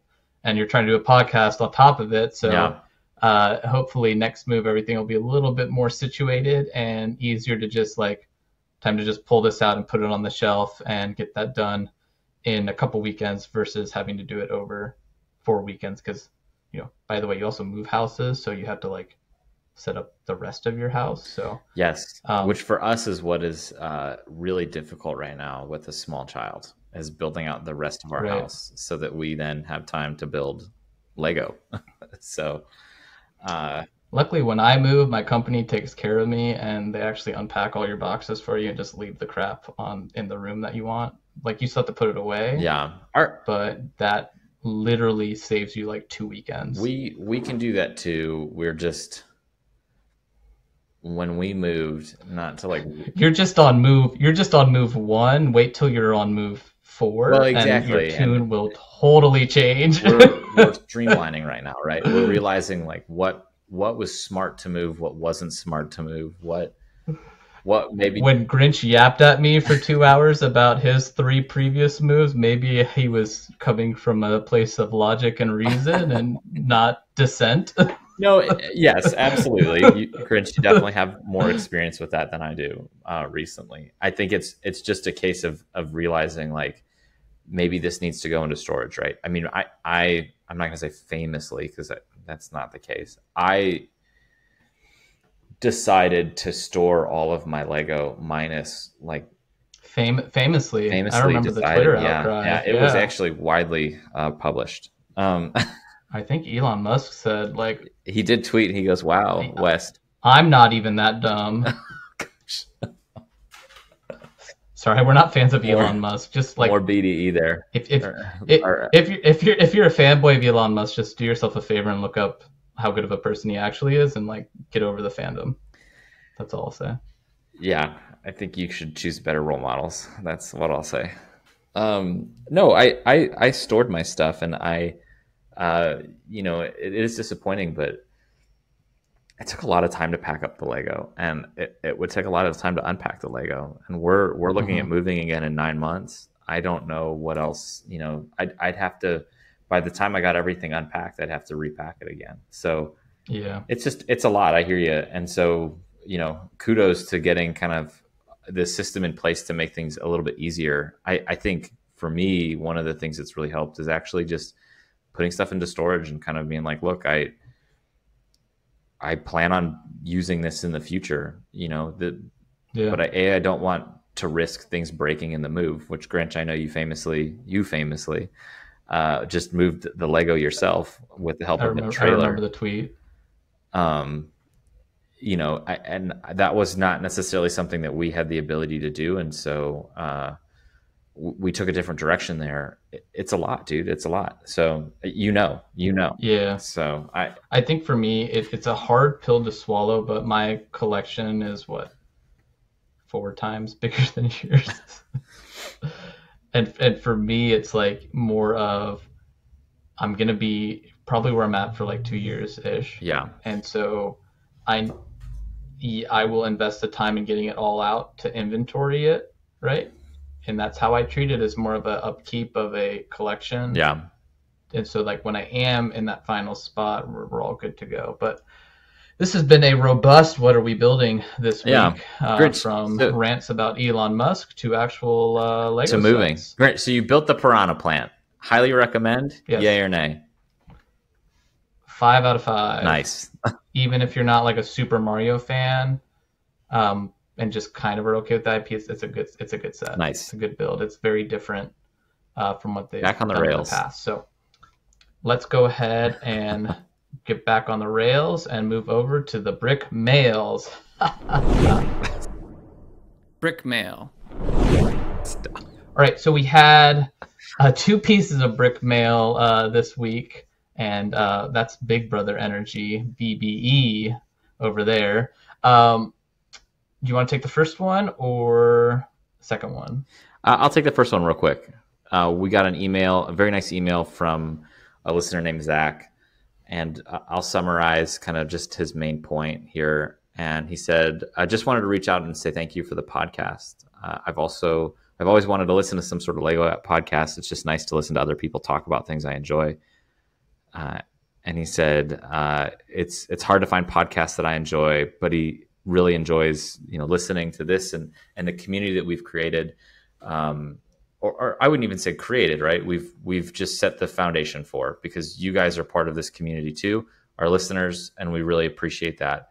Uh, and Zach, we really appreciate the the the email. You know, it's nice to hear that that Grinch and I, our conversations are are enjoyable to listen to because we enjoy talking about this this stuff. And and yeah, sometimes it does lead on to tangents and uh, rabbit holes Yeah, that we sessions. we have to pull ourselves out of but but we enjoy that and we enjoy kind of where these these conversations go and and, and to your point exactly right like when we started this we were looking to create the, a, a place to have this adult conversation that wasn't just a lego review by an adult fan of legos or a um, you know a, a, a curated experience designed to to really grow and, and promote an audience from a perspective of of, of trying to you know either maintain a, a fan base so that because that's your job or you know this is just a fun conversation is really what i'm getting at. And we said let's record this and, and make this a thing and so we're really happy that, that you're enjoying this zach and and please any other feedback that you have let us know um, as to any of the fans or fans listeners um, fans of the show if if you guys have any ideas for things that you'd like us to talk about, like, hey, I'd love to hear you guys chat on this this subject. Like, please give us that type of feedback. We'd love to to kind of use that as, as inspiration for new episodes, and and we'll we'll shout you out and say, hey, this was, for example, uh, well, I mean, we did that with the fake Lego episode where we we did have some requests to discuss that, and and we highlighted that those requests, and and then kind of built And- an episode around it. the more requests we'll get. Like we have a schedule actually, spoiler alert, built out through the end of the year. So plenty of content to come. But if we start to get four or five requests or multiple requests about the same topic, you know, we'll hey, let's we'll add it to the list. But if we get multiple requests, we'll start pushing it up the list of like, hey, a lot of people want this. So, you know, Yeah. you only sell what you try to sell. You only get what you ask for, right? So uh, love the feedback on that. Yeah, thank you, Zach. And I did want to say really quickly, Zach did mention at the top of his email. I did respond to you already, Zach. So check your email if you haven't. But he said, "Sorry if this is a bit odd, but I couldn't find your socials." Um, thanks for the free plug, Zach. Uh, you can email us at AFOLsWelcome at gmail.com or uh, we're on Instagram Yep. only. And we've we've Um, recently so- revamped the Instagram page, so take a look for that. We've included a link in bio section um, where you can see if there's any references from past shows. We've also highlighted creators that we really enjoy, um, and so we actually have them linked in our links. Um, we're not getting any sort of like affiliated kickbacks or anything with that system. It's just a way for us to share kind of more details about our episodes and Mhm. uh, us with everybody else. So um, we, we've kind of professionalized our Instagram page a little bit more here. So um, yeah. Anyways, that's that's the case. Uh, we definitely don't use X. So sorry, Zach. Not not a huge X fan, but for I think obvious reasons at this point. Yeah. I just, I honestly like, I don't use a ton of social media in general. So whenever I have to do like social media stuff for this, it kind of like, like I don't personally have an Instagram. I don't personally have a Twitter. I, like the only thing I really use is Reddit just for productivity so that I can work a nine to five, do a Lego podcast, build Lego, and spend time with my family. I try to avoid social media as much as possible. So, uh, but you found the podcast. So the next uh, piece of brick mail is I will just say your first name for privacy's sake because I think Google automatically plugged it in, uh, maybe unbeknownst to you. So uh, Rob uh, wrote in and he said, Hey guys, uh, first of all, I'm enjoying the podcast more and more every week. Thank you. I hope we're getting better and better every week as we literally just started this endeavor at the beginning of the year. So hopefully we're, you know, every once in a while there might be a little bit of a road bump. I'm thinking of the uh, how to display collection when I was on vacation and didn't have my normal recording setup, and you could just hear 50 billion clicks. Uh, but glad to hear you know you're enjoying it more every week. I think we're getting better every week, which is which is important as well. Yep. Uh, I get the vibe that I'm hanging out with you guys and just talking about Lego. Just that my job is to listen. I have three younger brothers and could see having similar discussions with them. So West is my older brother, so younger brothers unite. Um, but yeah, I think you know uh, that's the largest endorsement I think that we could ask for, to be honest, because that's really the goal and the mission, like like Wes was talking about uh, with with Zach's reply. A few comments on recent episodes. He's got four comments here. I'm gonna just take one of them, talk about one of them, take the second one, talk about the second one, and so on. So, uh, number one, uh, Lego knockoffs. I really wanted a Lego Nativity set, which of course is not made by Lego. I found one on Amazon made by Nativity Bricks, so why not? Uh, the set was fine. I knew I would not get a regular minifigures set, but the set fits nicely in our house at Christmas time. There's a place for brick sets that Lego will never make, as you guys stated. And yeah, I mean that's like exactly what I was trying to convey. Is like Lego will not, you know, has said they're not going to do like religious based sets. So uh, they've also said they're not going to do military based sets. So like that's fair game. I think what West and I were also trying to convey is like when you see a modular building and then you see a knockoff brand do a modular building that feels a little bit copy pasta, right? You know, like somebody's just like, you know, hey, copy my homework, but make it obvious you didn't cheat. So they're not knocking it off, but they're kind of knocking off the, the idea and the concept.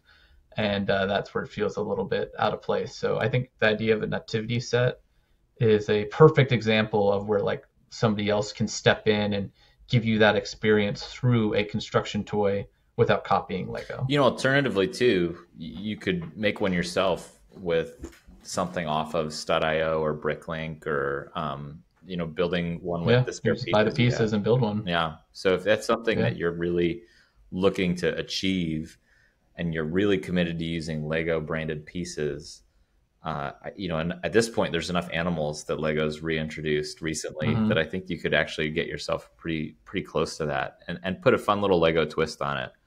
Uh, Yeah. A little Lego uh, figure as like a little Lego baby Jesus would be pretty funny.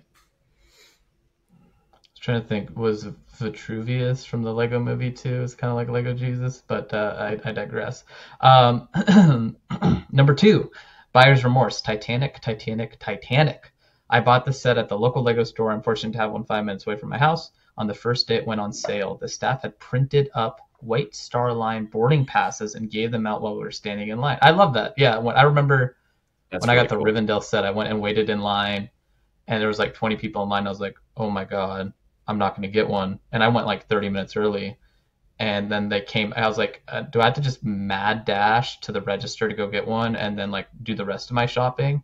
But what they ended up doing was just handing out a piece of paper to everybody in line that wanted the Rivendell set, so that you could shop and enjoy your experience. And you know, we have 52 sets. I have 52 pieces of paper whoever gets one's getting a set and then went down the line so i like the idea of doing the boarding passes that's that's very clever I, I would have asked to keep the boarding pass too. It's just like a fun token. Um, the unopened set is still sitting in my storage room. Ouch. Once i got home i felt like it wasn't going to be a lot of fun to build and even worse i had no place to display it. Well if you're not going to display it my recommendation is just hold on to it and then like sell it in 10 years for you know like two grand or however expensive that set will get because somebody will enjoy it. But um, yeah, that you know that's part of the reason like I just totally avoided like the Eiffel Tower because there's a ton of pieces in it. Right? Was it ten thousand pieces? Yeah, big. Um, but like it's it's got to be. I mean. It can only be so interesting to build ten thousand pieces, right? like at that point, it's like I'm building a freaking house. So You know, so, yeah, I, I, the Titanic was an interesting one that I thought of for Lego in that like I understand there's a lot of excitement around the set, the the the subject matter, right? But like I don't know, is it like a little morbid having that like sitting on your desk, you know, as like a model? and it splits apart. I I Is that terrible that I'm like it literally splits into three sections? Which I get from like that's intended to be a building, but my first reaction was like, ooh, too soon? Like, are we really gonna just are we gonna split this thing apart? huh? yeah. Like I don't know what other the sound brick? you know, Lego is, is exploring building kind of ships, right? We're supposed to get the Mhm. endurance this uh, Endurance. this winter. Um, I don't know what other ships that they would really want to build like in that scale that would be famous. So I, I understand sort of the Yeah. complexity here, or maybe the problem, if you will, of like famous ships. But yeah, I don't know. You know, I mean, it would be. It's just I don't know. It's interesting. Don't get me wrong. The Titanic was a gorgeous boat. Like, what a stunner! And and I think the Lego set looks wonderful too. So I I get that. But yeah, I hear you. Hear you, Rob. I think that it's uh one that you put together and then you know as we've mentioned on this podcast before it's a it's a dust collector a little bit so hmm So, next point here, back to Rob's emails. Predictions for 2025. I just wanted to add a comment about DC sets. I'm a lifelong DC fan, and I grew up reading Superman comics. The DC universe is so much more, in all caps, than Batman. I did see that Superman Lex Luthor set is going to be released next year. Where's the Daily Planet? Where's the Justice League headquarters? Where are Teen Titans? I feel like Lego is missing so many opportunities with their obsession with Batman. And yeah, I think it, part of it is because like back in the day, it wasn't Lego DC, it was Lego Batman and Lego Mhm. Spider-Man. And then they started, you know, going into like when the MCU got bigger Yeah. and the DC, um, you know, um, cinematic universe, whatever it's called these days, was was was you know getting bigger. They started focusing more on the movie set, so it was kind of a chicken and the egg situation where where Batman was the egg, and then I think it's just kind of like what they fall back on without any new movie releases that that they anticipate doing well. Unfortunately, unfortunately. well and, and you know uh, but it, is- it is a good call out though. batman has been the crux of the dc cinematic universe and so Mhm. I, I think it, like you said because we've sort of transitioned into that as sort of what is the genesis for future sets we're, Right. not seeing anything else because dc isn't really putting anything else out there i i hear you that there's certainly potential to go back into the comics and revisit things right but like the sanctum sanctorum was in the mcu and and featured in the movies the Yeah, but the Daily Bugle was not. Neither is the X Mansion. No, and the Daily Bugle, in the way it was done, is, is really more of a comics thing. And I, I, the X Mansion was featured in the movies, though. You know what I mean? So, like, I, I think there's justification. I I hear you. I, I don't know. I think DC's just struggling right now in general. and I, I guess Yeah. we're seeing that in Lego too. So I want it makes you wonder. Again, I talked about it last week of like with the Batmobile. I'm like, you know, this will sell, and it's gonna tell Lego we can make more of these. And it's like, is it only selling because it's the only DC thing that comes out, or is it because people actually want more Batmobiles? mhm. I wonder. Again, going back to maybe sales information. Maybe the Batmobiles are the only thing that do sell, and when you get something different and unique to the line, it, it hasn't sold historically. I don't know. We don't we don't really have that information, but that's just kind of where my mind goes. So it's wrapping up Rob's email, he says number four, Lego ideas. Great job reviewing the 34 sets. You keep kept it interesting and fun. My favorite is the post office, and I'm sad that Lego automatically eliminates the modular buildings. We don't get enough of them. And I do want to say for the record, they don't automatically do it, but they did recently announce with the Bricklink designer program that they will no longer accept submissions, and they've historically never done a modular type building in Lego Ideas. So the closest thing would be the old fishing store, and that didn't have like connection points. It wasn't called the modular old fishing store. It was it was fairly unique. The only thing that really had it similar to a modular is that it was built on a uh, base plate. right. And then he says, uh, "Great, uh, keep up the great, uh, the good work." Uh, so thank you, Rob. Uh, appreciate it. Glad you liked the Lego ideas. Uh, I know Wes and I were talking about that one before. I'm like, this is gonna be a long episode, so um, it was a very long episode, but you know, I'm glad to hear that people are really, really enjoying it. So, and that is a wrap of another episode of AFOLs Welcome. If you enjoyed this podcast, please subscribe and leave us a review on Spotify, Apple Podcasts, YouTube, or wherever you are listening to this show. If you'd like to reach the show, please reach out to us at AFOLsWelcome at gmail.com or follow us on Instagram at AFOLsWelcome. Thanks for listening, and we will catch you on the next one. Bye.